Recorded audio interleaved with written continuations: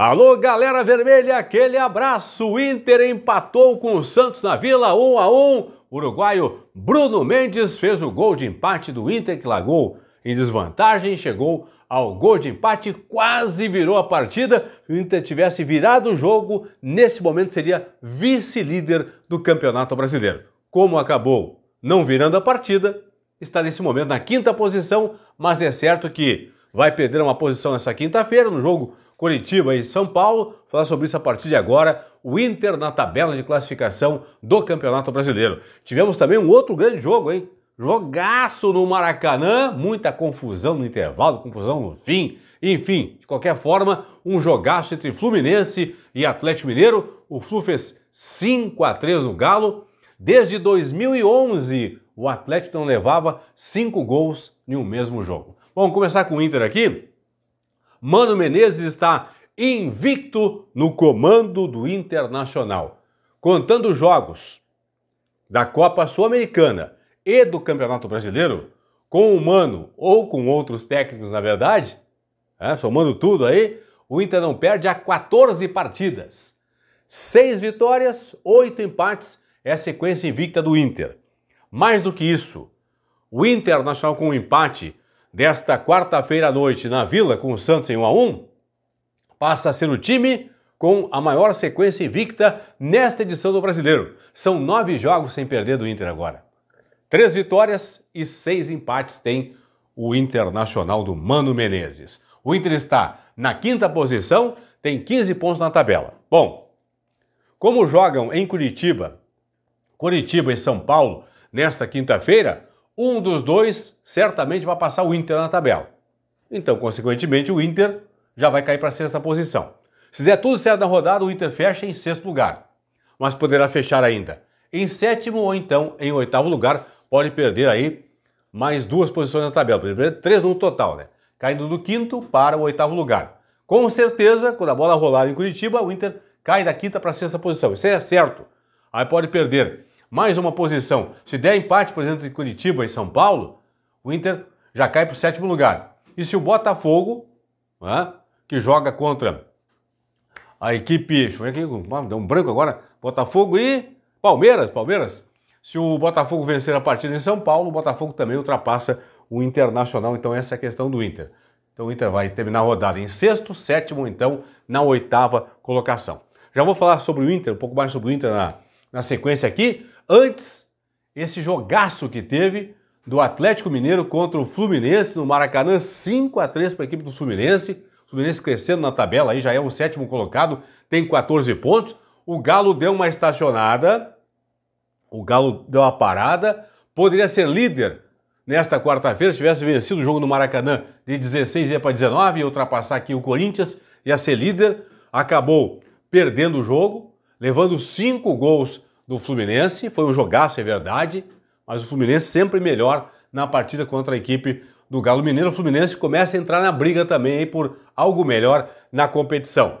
Destaque para o Furacão, o Atlético Paranaense, que jogou em Caxias do Sul no Jacone e derrotou o Juventude por 3 a 1 3 a 1 para o Atlético Paranaense. Quem comanda, quem comanda o Furacão? Ele mesmo, Luiz Felipe Scolari, o Felipão. Oito jogos até agora do Filipão comandando o Atlético Paranaense, seis vitórias, um empate, uma derrota, a única derrota para o Fluminense no Rio por 2 a 1 Primeiro jogo do Filipão no Brasileiro contra o Fluminense, acabou perdendo. Depois não perdeu mais. São oito jogos do Filipão no comando técnico do, do Furacão, com, repito, seis vitórias, um empate, uma derrota.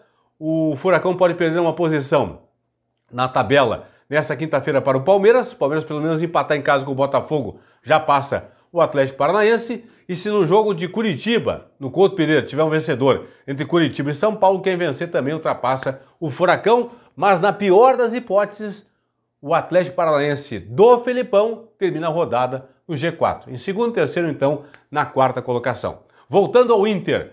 O Inter, que é quinto colocado, repito, vai ficar em sexto, sétimo ou oitavo lugar ao final da rodada. Pega no sábado, nove da noite, no Beira-Rio Flamengo. Flamengo que vem de duas derrotas seguidas, perdeu fim de semana no Maracanã para o Fortaleza por 2 a 1 e foi derrotado em Bragança Paulista nessa quarta-feira pelo Bragantino por 1 a 0. O Bragantino vencia nove jogos, bateu o Flamengo.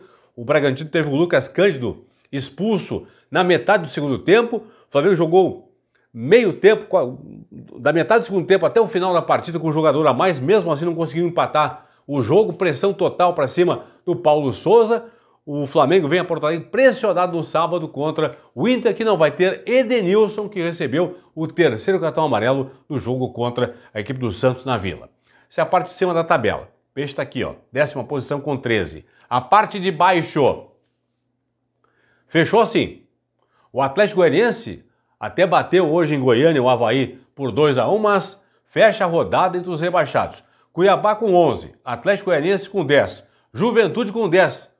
Perdeu para o Furacão por 3 a 1 em Caxias. E o Fortaleza com 5 estão na zona de rebaixamento, vão terminar a rodada dos rebaixados. Fortaleza joga na rodada ainda, né? Em casa contra o Goiás nessa quinta-feira à noite, mas mesmo que vença, no máximo vai a 8, vai ficar na lanterna ainda, portanto, na zona de rebaixamento, a equipe do Fortaleza. O Havaí, que tem a mesma pontuação do Cuiabá, e o mesmo número de vitórias, está fora do Z4 no momento por ter saldo negativo 4 e marcado 11 gols. O Cuiabá tem saldo negativo 4, mas marcou apenas 8 gols, 3 a menos que o Havaí, portanto, por isso que o Havaí está fora do Z4 e o Cuiabá fecha a rodada na zona de rebaixamento. Só então, pessoal, olha aqui, ó, para ter uma ideia. Mano Menezes, esse é o cara, esse é o cara. Ah, e o Bruno Mendes jogou contra o Santos, seu sexto jogo do brasileiro. A partir de agora, o Inter não vai utilizar mais o jogador no Campeonato Brasileiro, porque o limite é de seis jogos, senão ele não pode jogar para outra, outra equipe. Como o Inter não sabe ainda se vai comprar ou não o Bruno Mendes, por enquanto ele não vai jogar no Brasileiro. Aqui embaixo, ó, tem no primeiro link, no primeiro link fixado aqui, você encontra o link da KTO, no comentário fixado aqui, o link da KTO.